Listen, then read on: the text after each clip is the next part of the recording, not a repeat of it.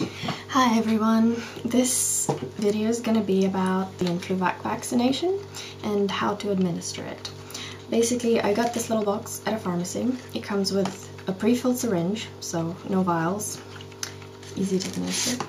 It comes with instructions which you should read. And it explains a lot of side effects and things, not too bad side effects. It wasn't my first preference for the vaccination.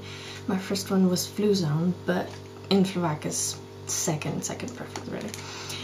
Um, what you should need to know is that you shouldn't be sick when you're administering this.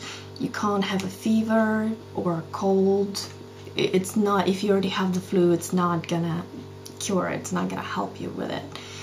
Um, it takes about three weeks to start protecting you from the flu, so you should get it before the epidemic breaks out, really. So maybe in early October if you can get it.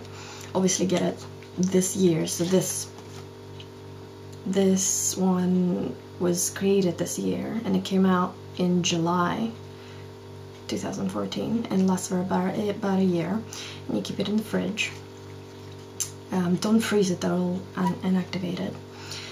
Um, one of the one of the problems with it is that you can become allergic to it if you're allergic to eggs or chicken or chicken products um, you can have a bad reaction with it. So just in case I, I'm not allergic to any of those products but just in case I have taken an antihistamine about an hour ago because I am allergic to some some things.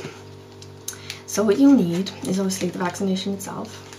You will need ethyl alcohol and you'll need a cotton cotton swab to dip the alcohol in and sterilize the wound side and also to hold to hold and massage the the injection side after after you're done. Oops, let's get to it.